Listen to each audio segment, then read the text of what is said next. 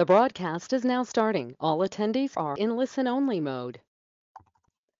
Hello and welcome to ReproAction's Act and Learn webinar for March 2023. We have an incredibly serious and important topic to bring to you today. It is about violence and the movement that dares to call itself pro-life, and we have titled this A Call to Arms, Violence and the Pro-Life Movement. So first up, we'll introduce your hosts from the Repro Action team. I am Erin Matson. I use she, her pronouns. I am co-founder and executive director of Repro Action. I'm based in Washington, D.C., and I am on Twitter at Erin to the max. And I'll pass it over to my other co-host to introduce himself. Thank you, Erin. My name is Kara Mailman. My pronouns are they and he.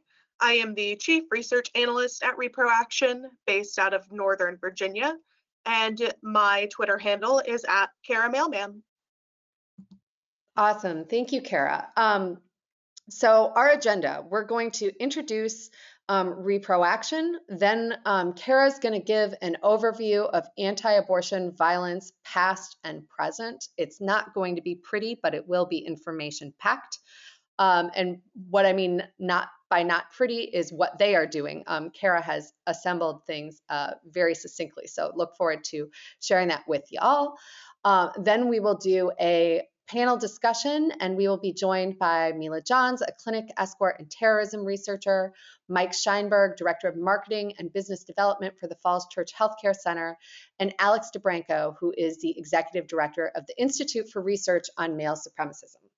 Then we'll go from there to next steps, and then we'll go into Q&A. Um, so first to uh, talk a little bit about ReproAction, the organization hosting this webinar.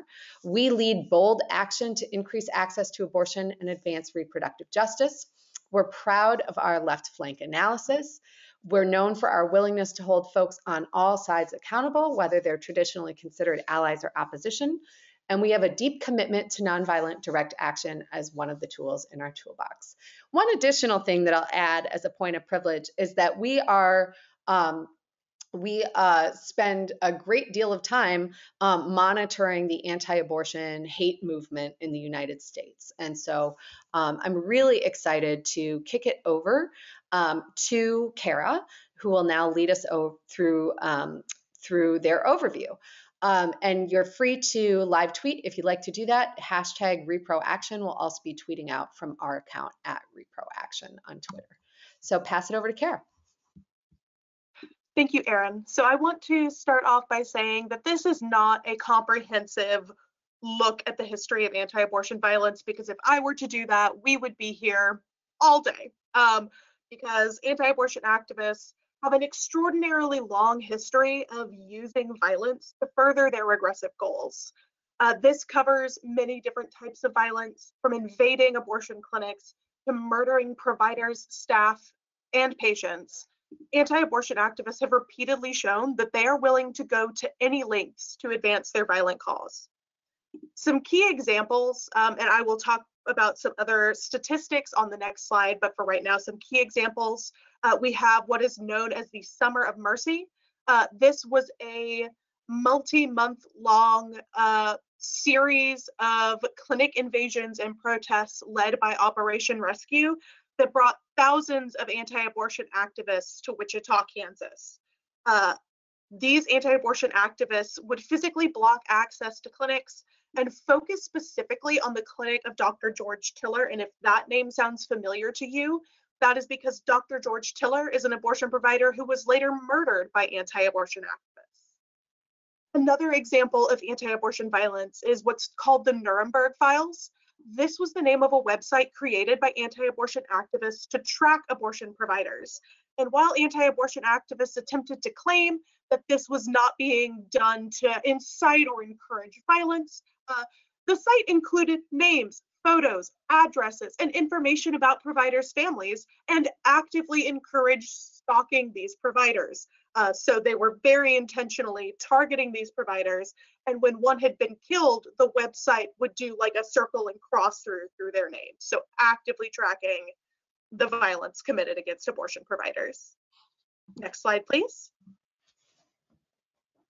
So some statistics on anti-abortion violence, and this will cover more types of anti-abortion violence. Um, at least 11 abortion providers, clinic staff, clinic escorts, and patients have been murdered by anti-abortion activists since we've really started tracking this violence. According to the latest report from the National Abortion Federation, violence against abortion clinics has dramatically increased just since 2018.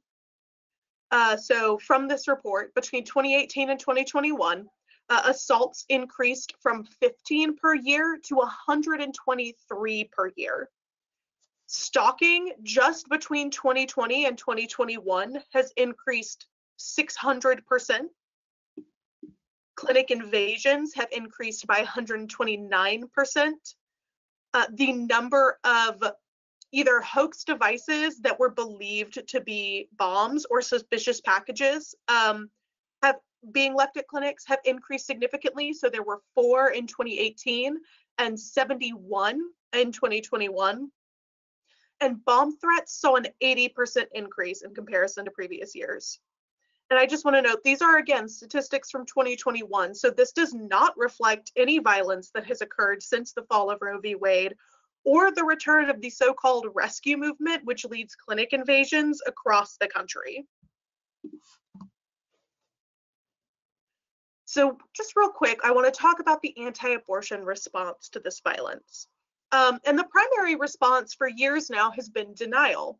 So they claim that whether this is them claiming that uh, they don't agree with this violence or that they condemn this violence or that uh, abortion providers are are skewing and inflating statistics of this violence. Uh, anti-abortion activists are committed to denying both their uh, involvement in, encouragement of, and like even just the reality of this violence.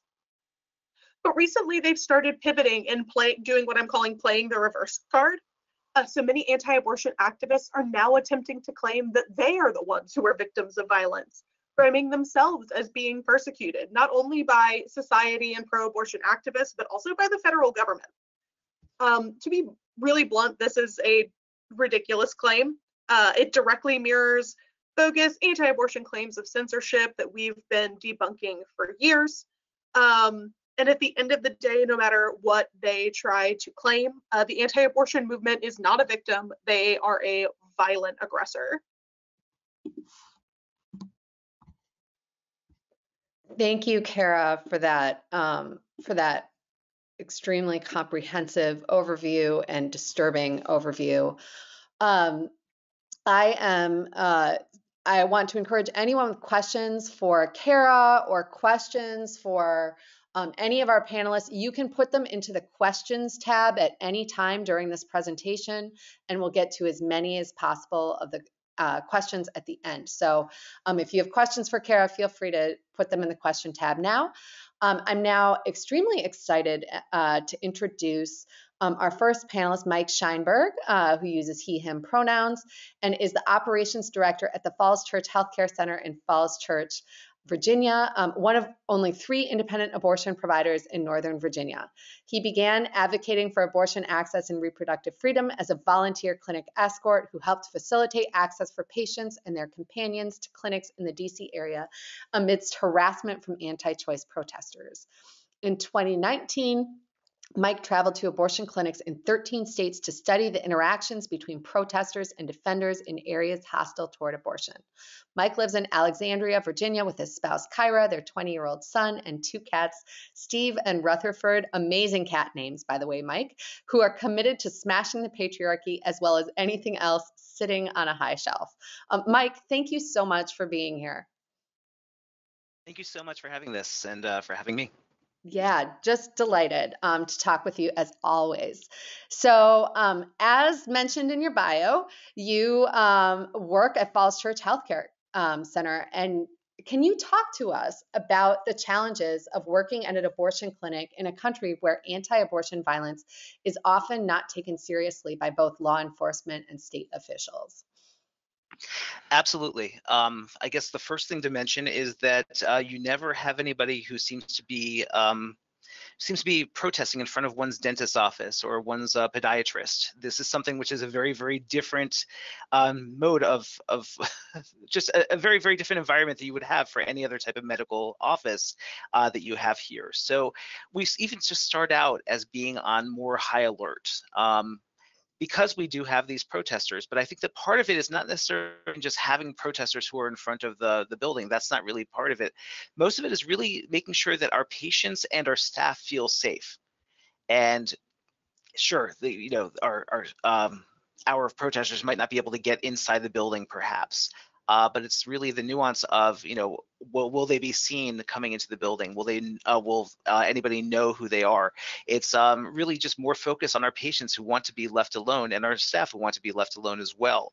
So coming into our space means that they need to come into a space they are safe and where they feel safe, where they know that this is something which they can feel protected from this outside um, annoyance which which seems to be happening as well but i mean we also need to make sure that we are working very very closely with our own security and our own safety uh, from a physical sense which means making sure that we screen our patients who are actually coming into the building itself into the uh, office itself making sure that nobody is there who should not be there um, so it's really just a lot of vigilance on our part, which you don't necessarily see with any other type of doctor's office in the United States.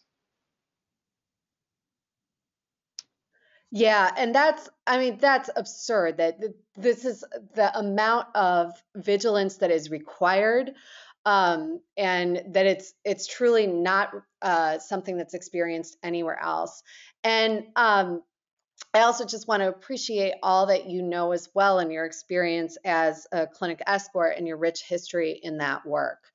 Um, so, tell us about how increasing anti abortion violence across the country has impacted both your clinics and your patients? Sure. I think the most important thing is that uh, it really has emboldened uh, anti-choice protesters in front of our clinic, meaning that they now feel like they have more of an opportunity to be able to say whatever they want to, to be able to toe the line legally, and to be able to toe the line with what they're going to uh, get out there when it comes down to intimidating tactics. Um, I think that that in itself becomes one of the more um, scary things out there, especially for our increased patient load of patients who are coming from hostile states, states hostile to abortion, who are used to and who have seen a lot of the different uh, aggression out there uh, in front of their own clinics in their own states. We're in the Washington D.C. area, which, relatively speaking, is uh, is not going to be as aggressive as some of these other areas that really have been hostile towards abortion, such as areas in the in the South, uh, in Tennessee and Alabama, which don't which no longer have abortion providers. Uh, but you know, in DC, we have a more progressive community. That said, it's not necessarily something that our patients really do know about because our patients are coming from places where it really has been hostile and aggressive. Um, because of the protesters who are out there on a regular basis, we do still have patients who are coming in or actually calling us up asking us if abortion is still legal in our state, which it is. Um, so I think that part of that is also the narrative that they provide as well. Um, for them being out there, it you know they they sometimes provide that narrative of is this actually something which is really legal to do? It um, makes our patients second guess, which they really should not be doing because this is something which is available and accessible to them as much as possible, and we want to make sure that they're aware of that. Thank you so much, Mike. And it's just horrible that patients have to encounter this eh, violence outside of clinics when they're seeking legitimate health care to move forward in their bodies and lives. And what, you know, I know you know this as a longtime clinic escort and um, and also staff. Why is it so important to maintain peace for people who are seeking healthcare? I think it's important for people to remain to um, maintain peace because this is something which people don't necessarily want other people in their business about. Uh, this comes down to a, an argument that people have in terms of do we, do we, want people who are cheering good for you if they're coming in for any kind of abortion care? Uh, we don't. This is not something where we really want to put people on display. Um, so I think that keeping the peace means making sure that people have the same opportunities that they would have coming to any other doctor's appointment. Uh, and that means making sure that things are de-escalated, making sure that when they're pulling into the parking lot, that they're not feeling like they are being watched. Um, and I think that that peace and calamity is, is what we're really focusing on when they come into our clinic too. Um, making sure that people are not seeing well, actually not hearing. We have a lot of great soundproofing here as well, uh, but making sure that uh, you know this is something which once again it's peaceful and it's a setting where they feel like this is safe for them to be able to make their own choices and not be intimidated by others.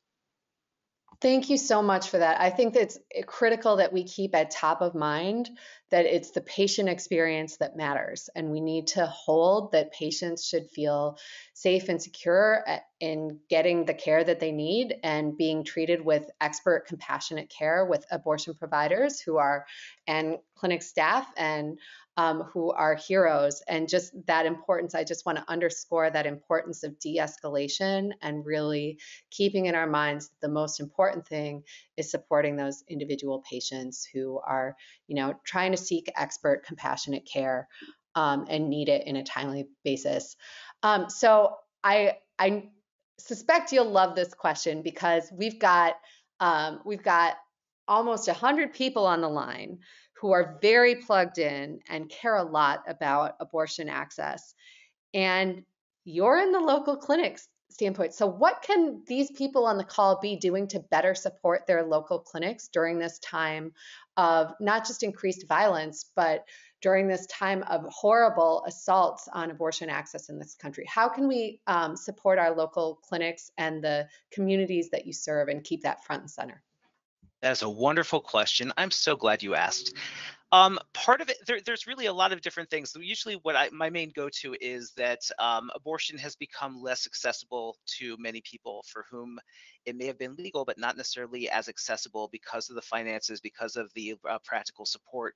So, supporting one's uh, local abortion funds and practical support groups, I think, is really very crucial. And I know that a lot of times it's just people asking for money, um, which sometimes is really very, very helpful. Uh, patients who are coming from out of state, they're coming, not only is it that they need to pay for their abortion care, but also their transportation, their um, their lodging, um, meals. Um, keep in mind that most people who have had abortions have already given birth. So we're talking about childcare as well. So making sure that these organizations are, whether they be well funded or also just appreciated or volunteered for, is really quite important. Um, I would say that also just making sure that your clinics are aware that you appreciate them and you can do so by trying to destigmatize uh, talk about abortion uh, or about reproductive care in, in general, making sure that people realize that this is not a dirty word. This is something which they can certainly say.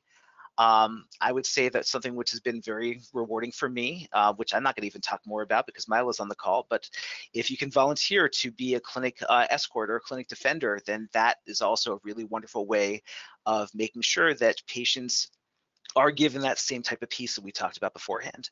Uh, that we that patients are, are able to access that clinic with uh, minimized harassment and with maximum security. So plenty of ways to help out. Great. Thank you so much, Mike. Really appreciate your work. It is wonderful to talk with you today. Um, so, Mila is not available right now. We may get her back, but we're going to roll over. So, if we do um, uh, when Alex and I are done speaking, we'll roll back to Mila and to Kara together. Um, but I'm going to encourage you, if you have any questions for Mike, just put them in the questions tab and we'll get to uh, as many as possible at the end. Um, now I'm very pleased to introduce Alex DiBranco, who is the executive director and co-founder of the Institute for Research on Male Supremacism, which connects research to action to contest misogyny and trans misogyny. Alex provides training, advice, and consulting on male supremacism for social justice organizations and expertise to media outlets such as NPR, Time, The New Republic, and the AP. Alex received her PhD from Yale Sociology for research on U.S. right organizational and philanthropic infrastructure with an emphasis on the Christian right and the anti abortion and anti LGBTQI ideology. She's a fellow with the Pop Culture Collaborative and an advisor for the 22nd Century Initiative. Alex, we are so geeked to have you here today. Thank you so much for making the time. Welcome.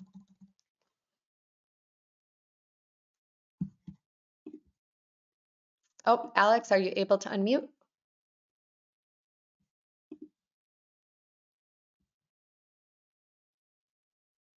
Hi, I'm so glad to be here. Great. Thank you so much, Alex. Um, so my first question for you is, how, how does this all link up? How do you see anti-abortion violence furthering misogyny and male supremacy? Yeah, so, you know, quickly, we work on the framework of male supremacism, um, which is the construct, the belief system um, that cisgender men are superior, that they deserve dominance, um, that there are only two sexes, involves the dehumanization and erasure of any others, women, trans men, non binary people. Um, and we work around this concept of the idea of supremacist um, supremacist uh, organizing. And so within the concept of male supremacist violence, this has really come more into media attention through something like misogynist incel mass violence that has increased um, in previous years. But anti abortion violence, which has been going on for so much longer, um, is really one of the much earlier aspects of misogynist and male supremacist violence. It's intended to maintain the biologically essentialist structure um, in which women and given deep intersections with white supremacy, white women are supposed to serve only a particular circumscribed role um, as breeders. Um, and so when we see this kind of violence occurring, and when we think about the impact of, of anti-abortion organizing, it's really intended to couch anyone who is not a cisgender man um, into a very circumscribed posi position. And it is really deeply intertwined with a number of other attacks. We've seen as soon as they achieved overturning abortion, they went for birth control, when we see rates of anti-abortion rise, not just in the US, but in other places globally, it's typically in tandem with other kinds of gender-based violence against women and against trans people and other LGBTQ people. And so this is really key um, to furthering a male supremacist agenda. Um, and those aspects of dehumanization and what Kara brought up um, threat construction, persecution frame, victim frames. These are all aspects of dangerous speech um, that have been found across case studies globally um, to be what makes violence against particular groups more acceptable. And so I think we can't disentangle the way that dangerous speech is constructed against women and other um, people who are seeking to access abortion um, and sexual violence and other forms of gender-based violence because they're all part of the idea of acceptability um, that uh, that non-cisgender men are less than human, that aren't deserving of the same rights to bodily autonomy, and that violence is an acceptable and even a virtuous tactic for achieving these goals. Oh, I the hearing you say that it's a virtuous tactic, I had to groan because it's also so true. Um, but I'm just pained thinking about my own experiences with clinic defense um, as well as clinic escorting, where I've seen these calls to violence where people wrap themselves as if they are somehow um, doing uh, what they frame as the Lord's work, and it's it's very frightening. Um, are there lessons and tactics that you've learned in your work and leadership fighting about fighting against male supremacy that you think can be applied to the fight against anti-abortion violence? Yeah, so I think, you know, one of the really key things is how much the tactics and strategies and frames of the anti-abortion movement and of supremacist movements really say, stay the same through the decades. I love that Karen Kara brought up the Nuremberg files because we can think of that as like a very early form of doxing. Um, but in addition to the Nuremberg files, anti-abortion activists, often influenced by white supremacist and anti-Semitic actors, where they learned a lot of their violent tactics from, would put up wanted posters, um, a paper form of, of doxing. So thinking about as technology changes, um, there are different kinds of opportunities for how they might use social media and websites to help further their goals. But there's really a lot of consistency in what they're working on. Um, and my PhD actually, um, one of the chapters looked at the use of dangerous speech in direct mail in the 1980s um, against uh, on abortion and anti-gay frameworks. And there's so much deep consistency in persecution frames, in virtue talk, um, in all of these elements of threat construction and how we know that speech is related to violence. And so with that kind of knowledge that we come in with, you know, doing one, especially for the anti-abortion movement, because there's so much connection between the kind of dehumanizing and threat constructing kind of dangerous speech that they use and incidents of violence which they of course the movement as a whole will then will then say well we weren't it's not because of us that this person targeted this planned parenthood cl- clinic believing the disinformation that we provided um, about killing babies. Um, and so, really honing in on not letting them do that. Um, when I spoke to NPR last week, I talked about just because a particular group is not actively and vocally endorsing violence, mostly because they're concerned about their how they look to media, does not mean it's not an extremist group. It doesn't mean it's not a supremacist group It's really important to recognize that what we call the mainstream anti-abortion movement is itself supremacist and extremist and can't be divorced from the kind of acceptability of violence that comes through the way that they talk about this. So I think that's one sort of starting point is just to really be clear on what we intervene in and to recognize how deep the connection is between speech and violent action. And then the next thing that I would talk about um, is we at IRMS really work on root causes, cultural change, and kind of new ways of thinking about intervention and prevention, or ways that aren't necessarily new, um, but aren't usually integrated with our, our countering violence kind of apparatus. Um, so we are doing this year um, a series of anti-supremacist training and creation institutes where we're bringing together researchers and organizers and artists and journalists to collaborate on innovative ways of changing culture um, and working on strategic long-term kind of change. We'll actually be, I'll be on another webinar on Thursday with journalist Amy Littlefield, where we're, be, we're going to be diving deep into the history and strategy of the anti-abortion movement. Um, and so through what we've been doing in those spaces are refocusing attention on what creates generations um, of people who endorse um, beliefs around male supremacism um, and all that's attendant with that.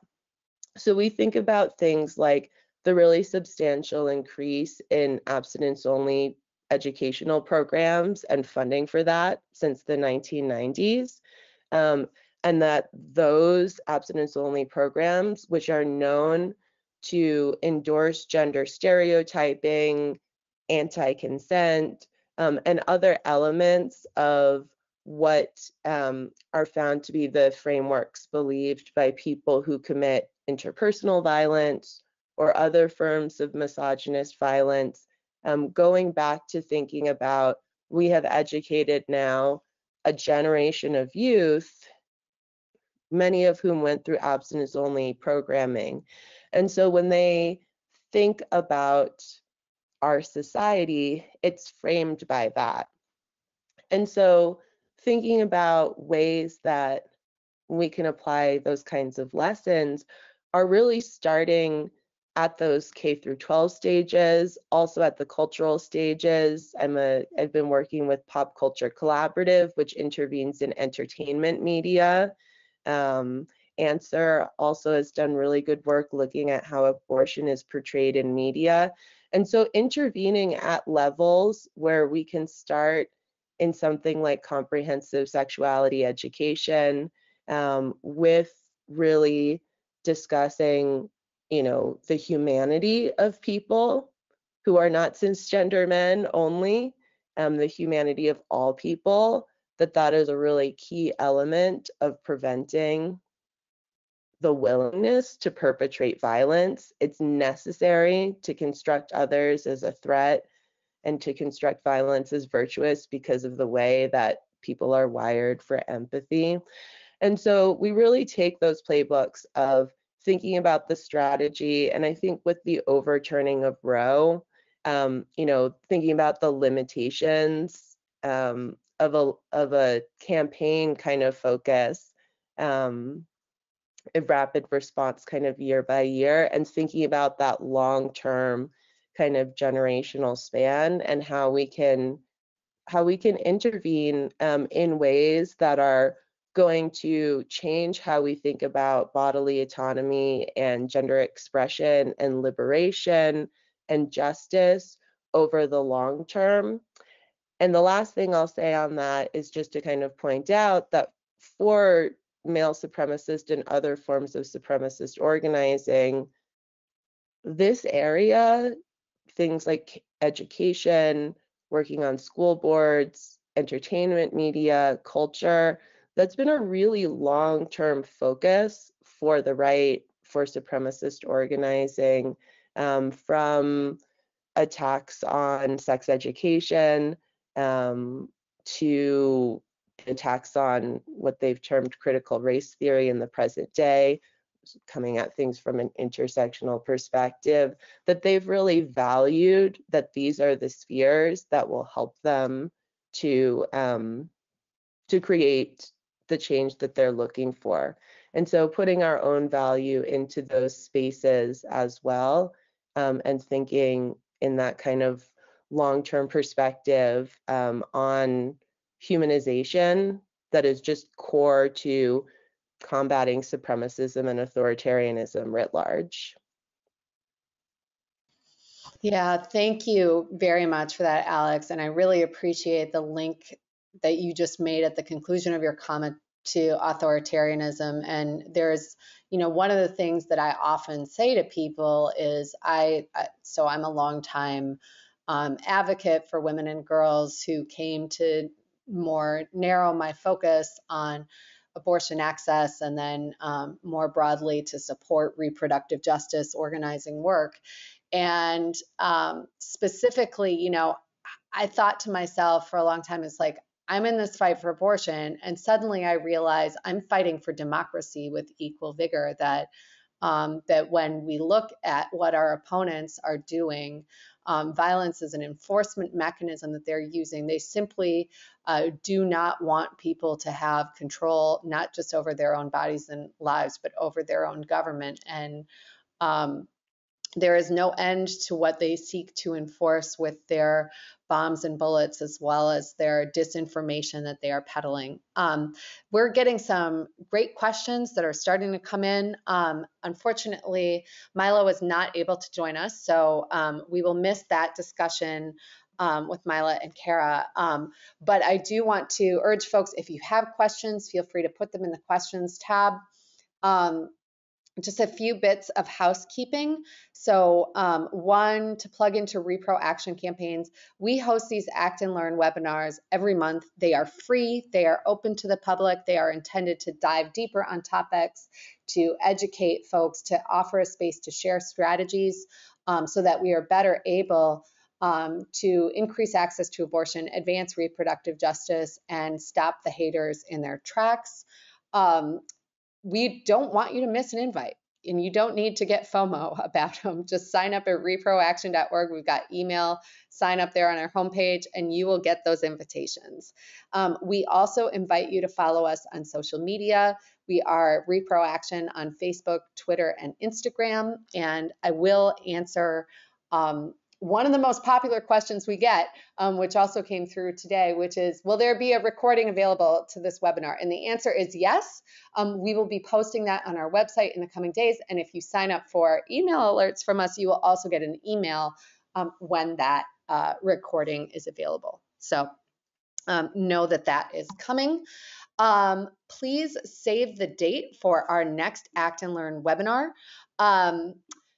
We will be meeting on Monday, April 24th at 12 Eastern, and we'll talk about how big tech is failing abortion. Um, there's a lot to say about that, but just to put it really succinctly, um, those online platforms are really blowing it in terms of uh, assuring access to quality information about abortion. And so we are going to talk about that um, next month. And we really hope that you will save the date now and know that that invite is coming later if you sign up for email alerts. Um, so with that, I'm going to move to Q and A. Um, the first one, um, let's start with Kara, and then um, if Alex or Mike wants to uh, chime in with anything additional, uh, please do. Um, we have a question, is the Nuremberg Files website still operating online? And um, I'd also just expand a little bit, you know, what should folks be thinking about with the fact that that uh, website um, has existed? Like what precedent does that set? What should folks be concerned about? So let's start with Kara and then um, Alex and Mike, if you have anything you want to chime in, you are welcome to do so. Yeah, so um, if it is still online, it is deeply hidden somewhere. I have searched for it to see it because I had the same question is this still online? Uh, and from what I can find, the answer is no.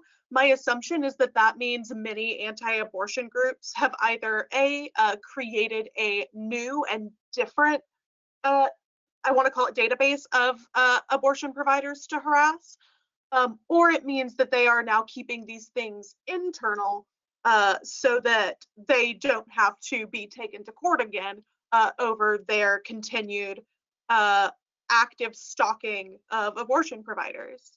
In terms of things that people should be keeping in mind, just knowing that this exists, um, is just your own digital security. Uh, if especially if you are an abortion provider, work in an abortion clinic, are a clinic escort, uh, or do work in and around repro, um, making sure that you are keeping uh, any profiles with like really clear identifying information private, uh, making sure your phone number is not available online, uh, making sure that your address is not easily searchable, every so often I will go in and just search my like my full name and address uh, to see if uh, my address is publicly searchable. Uh, taking it's it's unfortunate that we have to take these steps, but it's important to have an idea of what information about you is out there uh, so that you know exactly what anti-abortion activists uh, could also potentially be finding about you.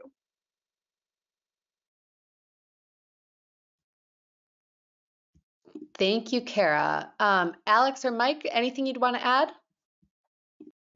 This is Mike. Um, I would say, first of all, I, have seen other sites that may have been around, which were not necessarily the Nuremberg files, but uh, other ones that had been also, I guess, doxing um, abortion providers. Um, I don't know if they're still up at this point. The main thing is now because everything's moving so quickly, it's very easy to dox and run and have things taken down, but still the damage at that point is done, which in itself becomes very frightening because you don't know necessarily what the consequences will be for people who are going to be doing this. So a lot of it is just really vigilance. And as Kara mentioned, um, it, it's really just checking online as much as possible and really just, you know, taking care of yourself is, is very, very important if you're going to be an advocate for abortion access.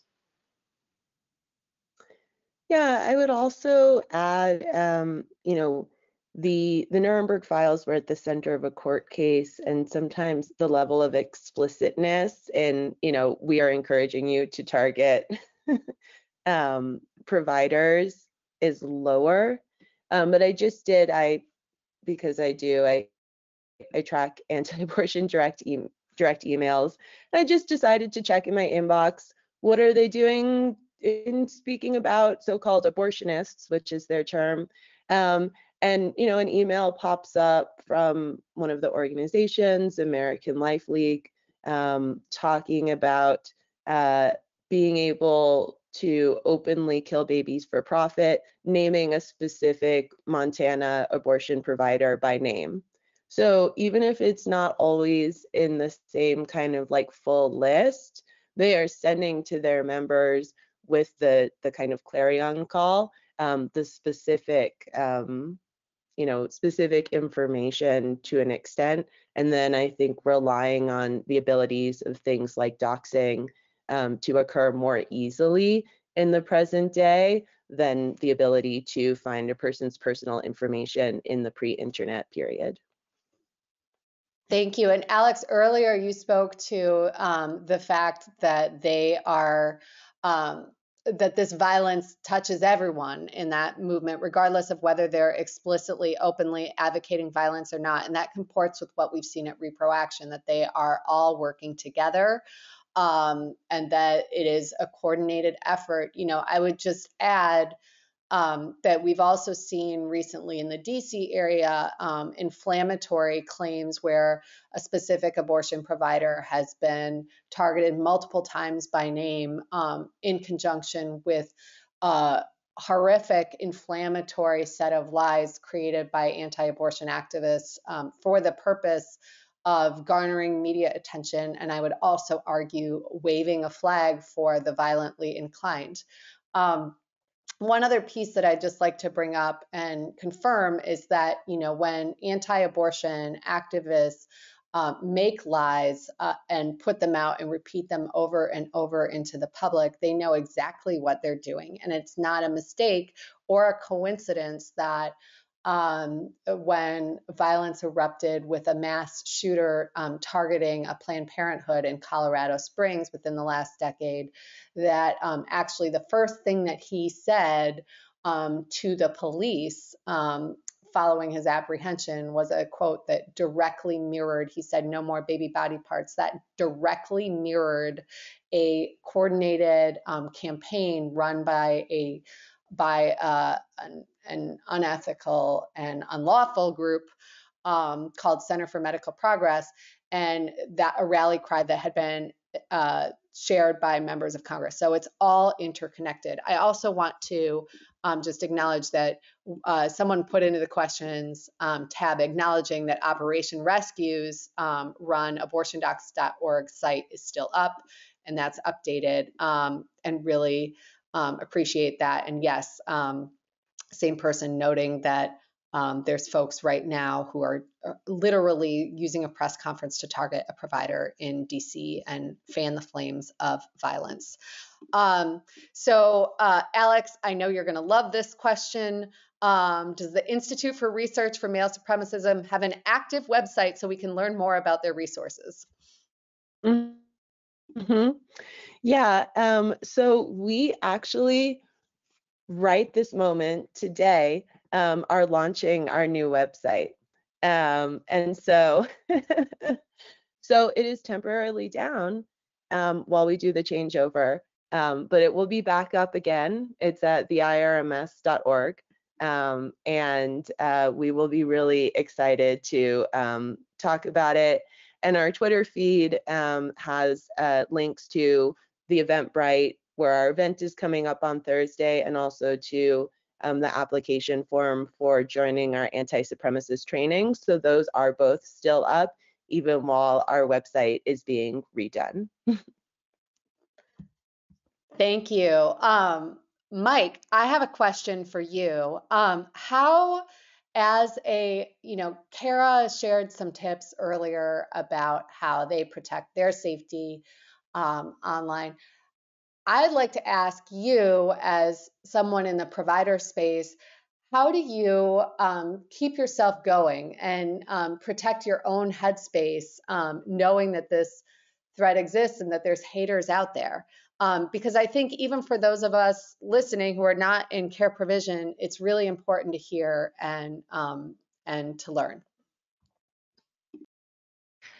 One of the first uh, interactions I had with ReproAction was uh, one of the campaigns that you all had, which um, was abortion is not for your mistress anymore. And it made me laugh because I just feel like that was just such cheeky, wonderful humor and I think that we're very fortunate that in this space, although there is a lot of stress and tension, there is a lot of humor. And there are a lot of really funny people, uh, and a lot of organizations that will will work with that as well. Abortion Access Front is a wonderful, wonderful organization that uh, also uses humor in order to, uh, to, to destigmatize abortion and also just make sure that abortion advocacy access is, is out there.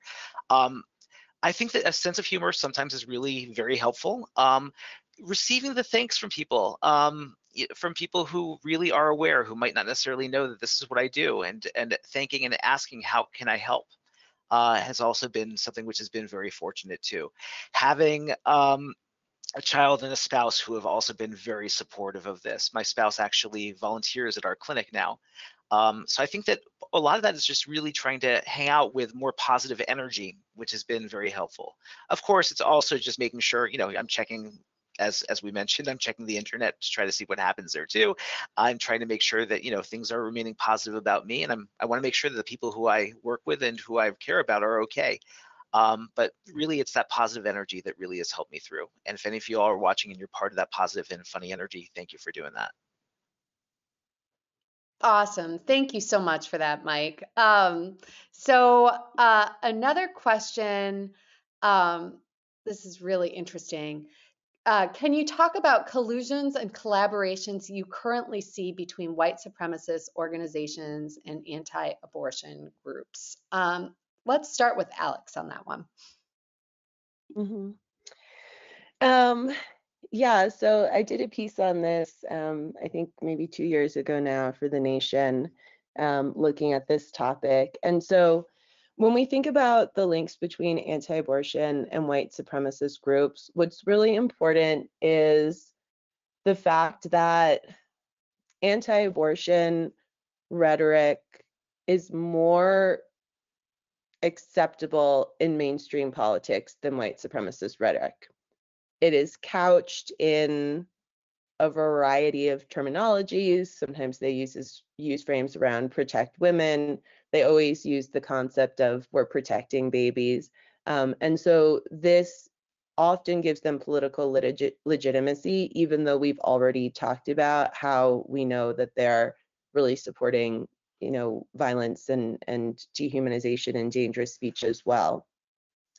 So white supremacists use that cover in their alliances with anti-abortion organizers.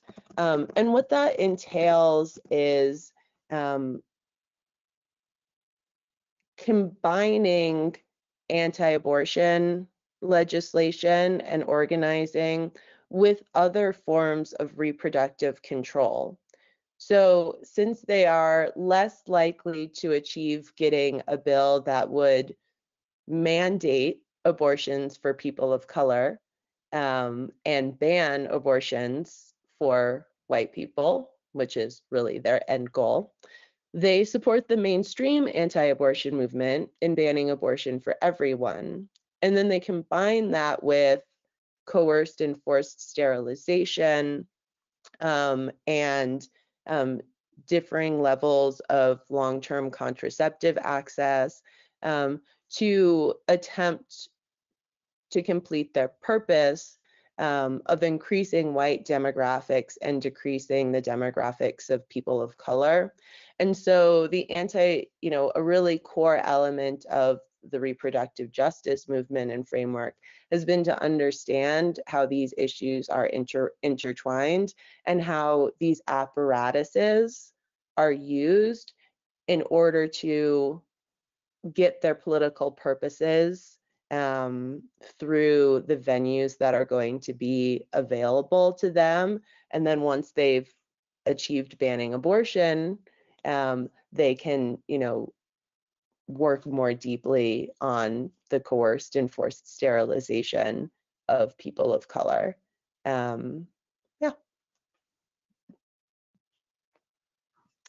Exactly. Exactly. Thank you for that. Um, you know, one thing I'd also like to bring into this discussion is Patriot Front has uh, has repeatedly joined the recent March for Life effort, and um, you know they've been out there with their little little hand billets where they're talking about um, how you know their conception of what is strong families or what they're positioning as strong families support um, white nation building.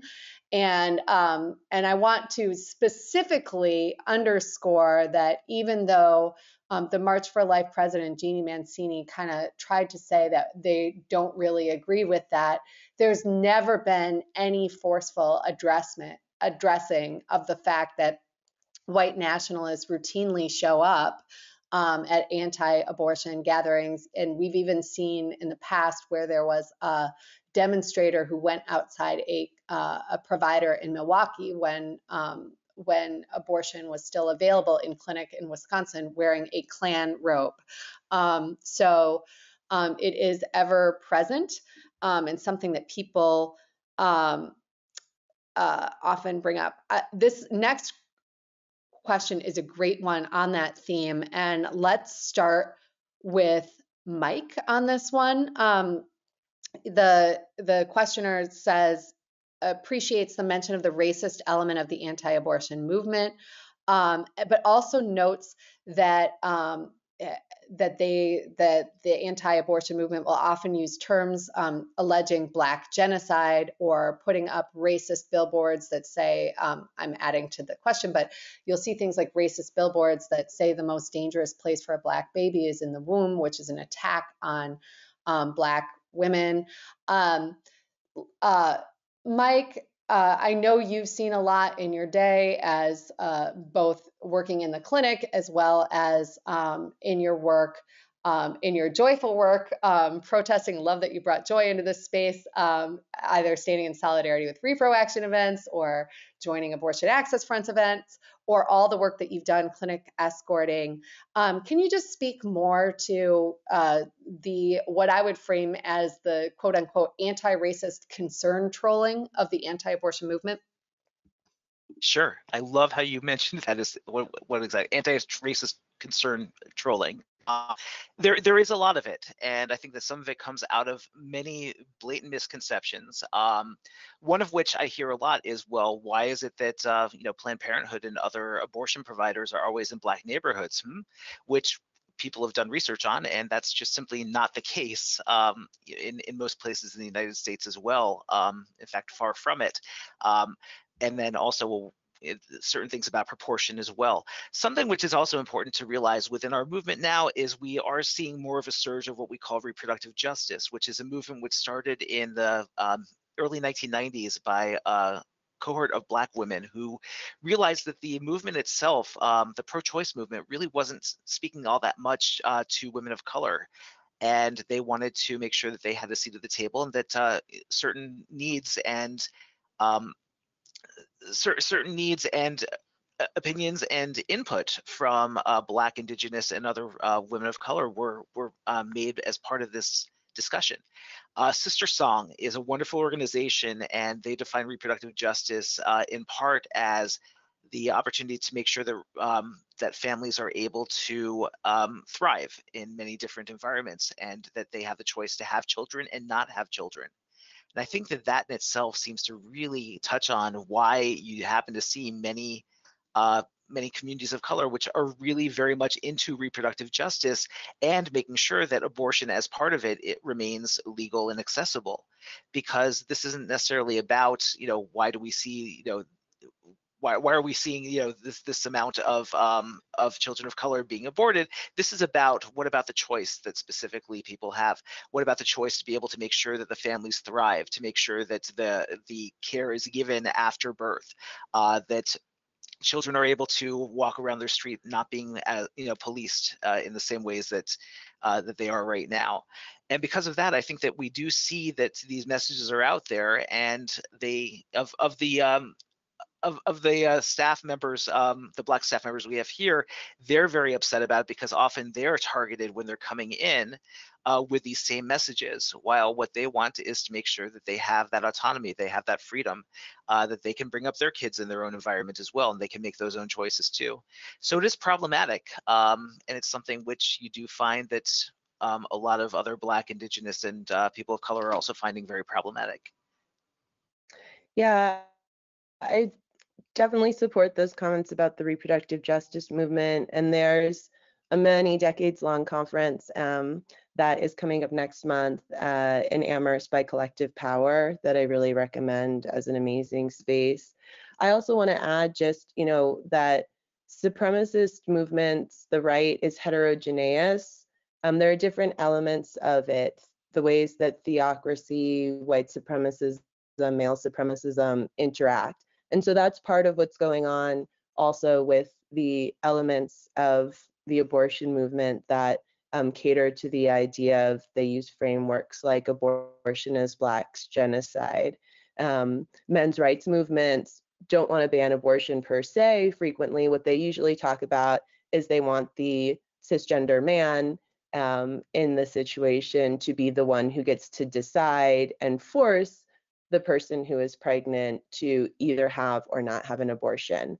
Um, so just keeping in mind, I think sometimes movements on the right can look sort of all the same to us because they do all share those roots of supremacism and authoritarianism but they do manifest in different ways and that's what that's what happens when we see some of these contradicting elements um, of the framing in addition to it sometimes just being you know convenient political cover to get their purposes um, on an issue that they don't really mean the message Thank you so much. Um, this is an interesting question. I think continuing on this theme.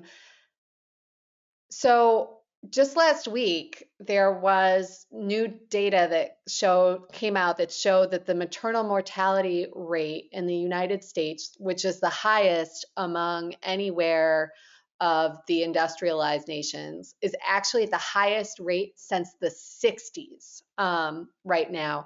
And to be very clear, it is Black women who are dying the most. And this question is Do y'all believe that racist opponents of abortion rights are intentionally increasing the Black maternal mortality rate? And um, we've only got a few minutes, so uh, I, let's start with um, Kara. Yeah, so I'm going to hesitate to say they are intentionally doing it. They are intentionally trying to increase the Black maternal mortality rate, but they are intentionally ignoring the fact that there is, in fact, a Black maternal mortality crisis. There have been multiple anti abortion think pieces recently uh, that have tried to put the blame for Black maternal mortality onto Black women, which is absolutely unacceptable.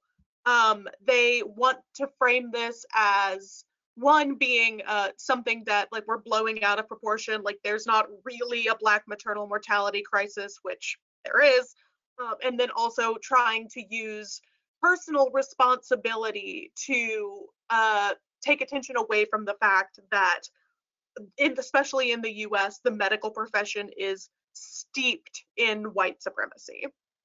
Thank you. And I am going to um, wind us up here. We still have more questions, but um, I, I know that I'm cognizant of time and we're very um, cognizant. Alex, thank you for joining us when you're launching a whole new website today. Um, thank you for that. And you've got all that going on. Uh, Mike, it was just stupendous to speak with you today. And thank you so much for sharing on the breadth and depth of your experiences within your various roles that you hold and have held within the movement. And I want to issue a final and special thanks to Kara Mailman, uh, ReproAction's chief research analyst, who did a stupendous job in putting together this um, specific presentation and recruiting the right panelists um, and making sure that we're here. And also just for every day, the incisive analysis that Kara brings about not just who the anti-abortion movement is, but how to effectively and in a values-focused way deal with them moving forward. So appreciate you all. Have a great rest of your day. Um, we'll be sending out this recording shortly and look forward to seeing you next month to talk about holding big tech accountable on um, on all its misdeeds on abortion access. Thank you. Have a great one.